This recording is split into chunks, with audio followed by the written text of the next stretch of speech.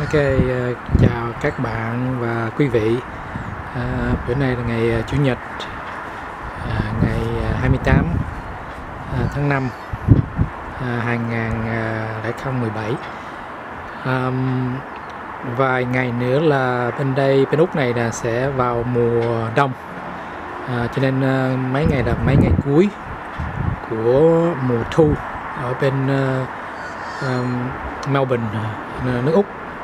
Đó, bây giờ mình à, quay cái video này cho các bạn thấy cái à, cây hồng giòn của mình. Đó, mấy cái video trước là có lá rất đẹp, có trái rất đẹp. Đó, mà vào mùa đông thì à, tuy nhiên là mấy cái trái mình hái hết trơn rồi. Còn lá là à, nó đổi màu từ xanh, màu xanh tới màu à, cam, cam cam đỏ đỏ rồi đợt cuối cùng là mấy lá rụng hết. Đó, rụng hết trơn rồi. Còn cái thân của cái ờ, cây hồng thôi. Các bạn thấy đó, trước mặt đó là cái thân của cây hồng. Đó. nó cũng là còn sống chứ không phải là chết. Đó. mà nó sống như vậy à, qua cái mùa đông. À, mùa đông là 100% là không có lá. À, sống như vậy đó. Đó, quay xuống gốc cây cho các bạn thấy Đó. là không còn một lá ở trên cây nữa rụng hết 100% Đó.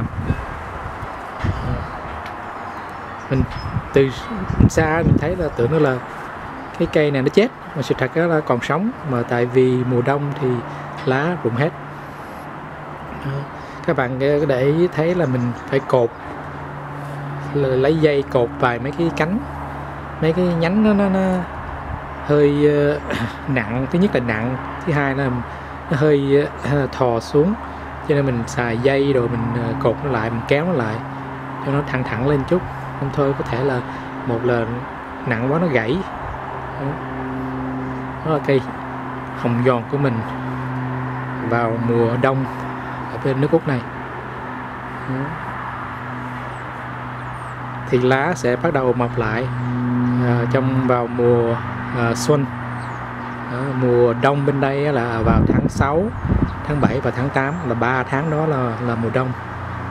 À, sau đó là à, vào mùa mùa xuân.